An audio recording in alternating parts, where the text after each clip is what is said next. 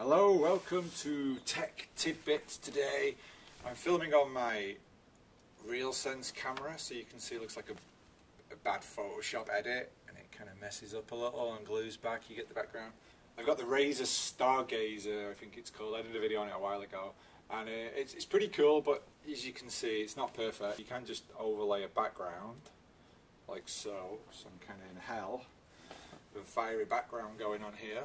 So now you can be playing a game and it, you know, that that's a lot better. It's actually, I would not mind using that all the quality wise, just when you blow it up full screen like this, it's not very good. Now today's video I'm going to do is on my A7R2, which is this camera here with this beautiful Batis lens on it, and I thought I would, because I've had this a year, I thought I would go through the menu system on it because this camera is like a warren it's really everything's kind of hidden. There are some functions that are not even in the menu system which is really strange. You have to go and uh, customize them. So I'm a complete amateur with photography. I've just worked up to this camera over like 12 years of having SLR cameras and moved to this mirrorless one mainly for its size when I've got this quite large lens on it. Uh, so I'll go through from like my point of view what I use. Obviously it won't be stuff that really helps you in a studio or in you know professional situations but most of the stuff I use uh, I'll take you through. Any comments anything you know more about this camera it'd be great. You know I've had this like a learning video for everyone to put them in the bottom uh, and I'll try and index the video as well. So if you are just looking for a very very specific functionality you can just jump to that bit in the video. Okay so you got me out the way of your main screen which is always good and I've got a little bunch of crap I've set up here uh, with the camera pointing it. The camera's on a really unstable little mount. You can see here, but uh, so we'll shake around a lot, but it'll do for what we want to what we want to do. So you can see you've got like a little uh, through this. Now it's not a normal micro mini HDMI. I don't know what they call it. So you have to look if you're going to do this with your camera to get the right cable. But I've got this into an AVerMedia capture card so I can see the live footage. You can just get the HDMI screens plug it in. That's what a lot of people do. So if you're in a studio, if you want the, the screen live feed, you can do that. Now you're not going to be able to see the menu at the moment, so I have to go on to like the down into HDMI settings and switch that to HDMI info on. Now that helps me a little bit because I can look at the screen then and talk, but I might just take myself off in a minute anyway. So now you can see the menu and we can quickly go over, hopefully this will show you everything I'm going to see. Yeah, so if we if we jump back into the, the regular viewfinder then it, this is basically exactly what I see and you can see I can toggle through.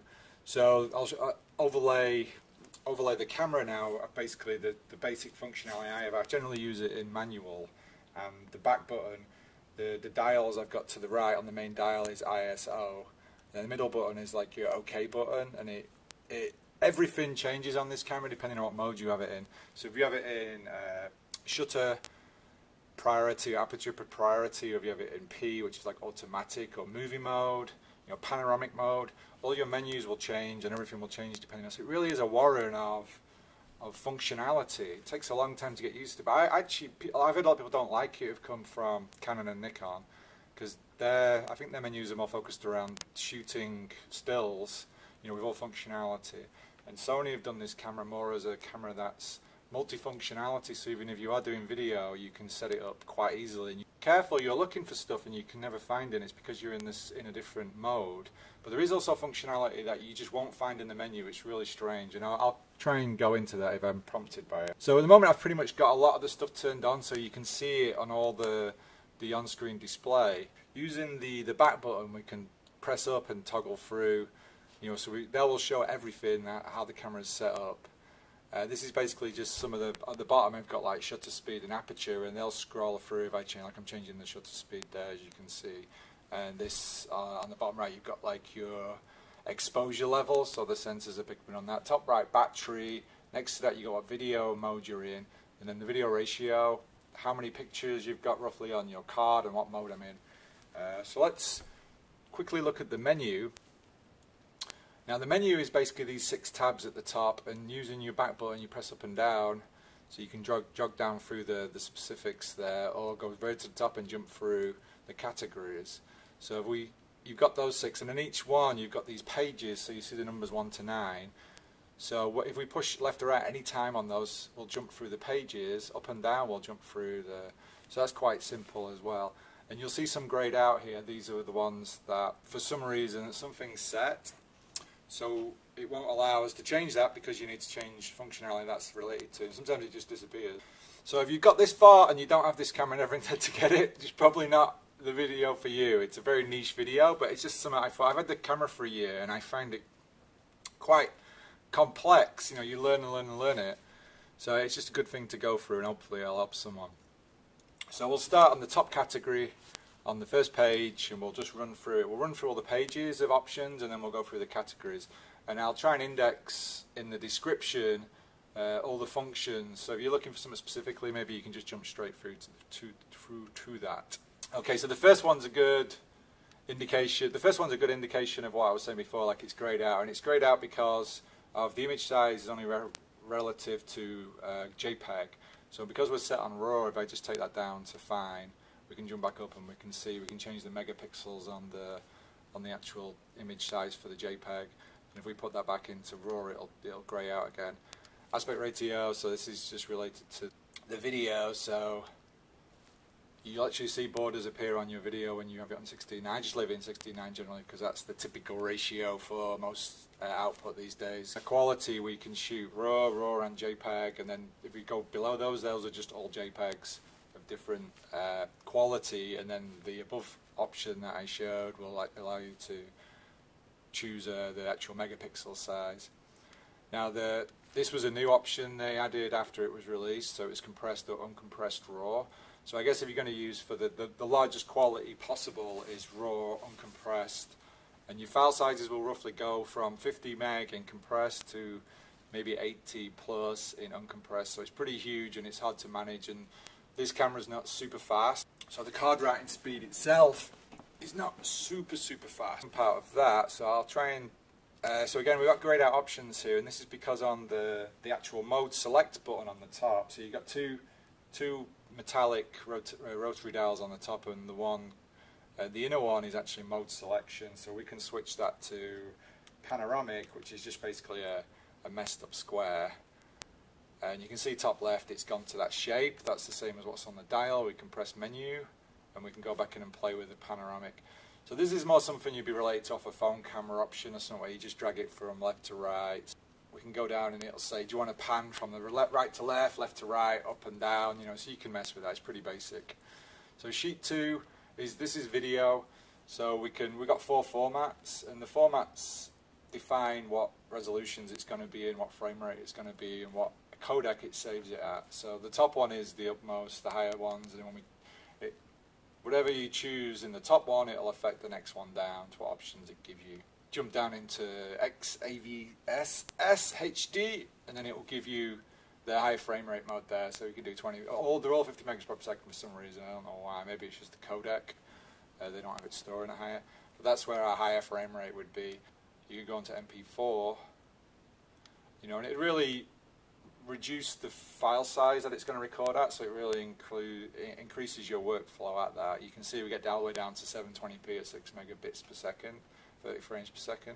So that would be a really good mode if you're going to do a, a lot of video and you, you know the downstream result is just going to be really low quality, then uh, you still got, you know, that's good enough for Instagram or Facebook or whatever you may want. So I'll pop that back into 4K. Uh, one thing to note here is if we if you're doing the export like I am at the moment down out through the HDMI cable, is that you need to go to your HDMI settings and you have to make sure this is not on the 4K because if you've got this I guess if you're using stills it's okay because it will export at 4K but if you're using if you want to record video it will just lock the output. So if I, if I switch that out to 4K then it will give it you we're not going to be recording on it obviously but if I press record then we're gonna it's gonna mess the output up there so stop the record Hopefully it comes back. There we go. So I'll change that and I'll force it to, well you can either put it on auto, I think auto works just as well, or 1080p. And now we should be able to go in there and press record. And it does work. Yeah, we can see I can focus in and out there. So that, that might be a problem you're having if you're trying to if you're trying to export through HDMI and do f- record at 4K at the same time, doesn't work, doesn't do it. So we're on page two of 400. So a dual record will basically it will save you a lower quality MP4 video. So you can do a high quality video on MP4. And the way that's used really well, if you're going to use a video editing that allow you to choose two videos, two quality videos, so you can edit with a lower quality one, then it'll supplement the. It's like a sacrificial video, if you will, and then it'll supplement the higher quality video when you go to render it.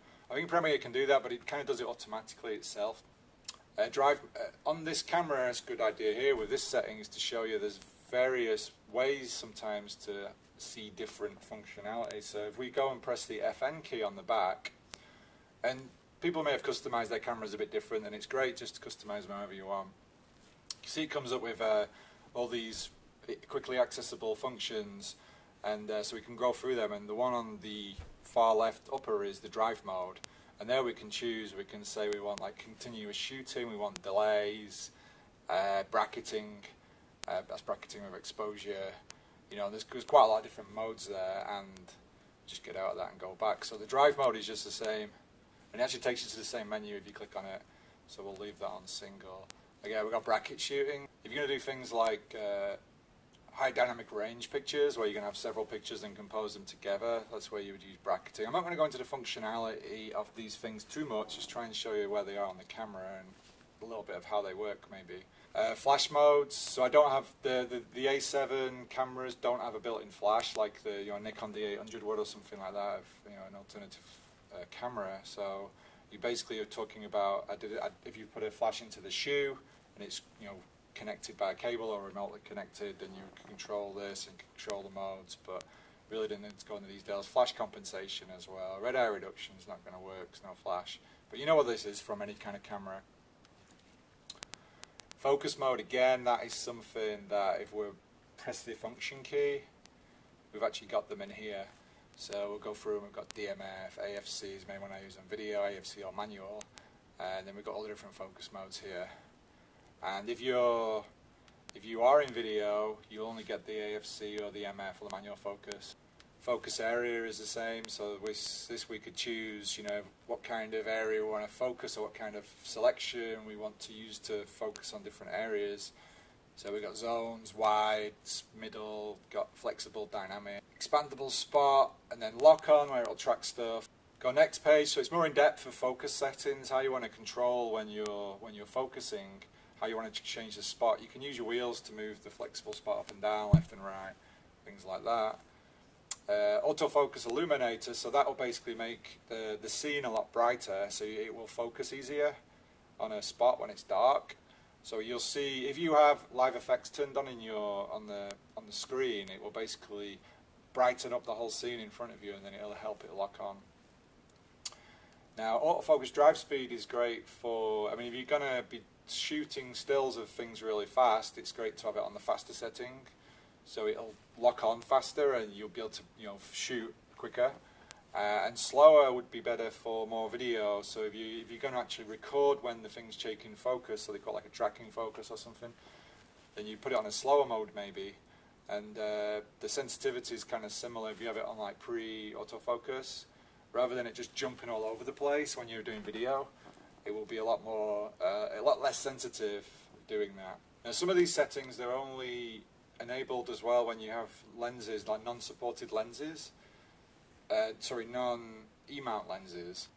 And you can go in and you can, sorry, you can go in and you can compensate for the lens, so you can change like a, depending on the lens, uh, depending on the exposure or I don't know what exposure step does, and I read about it, and it kind of said it's always on free regardless what you set it in certain scenarios. So I expected it to be on the wheel at the top when we changed that.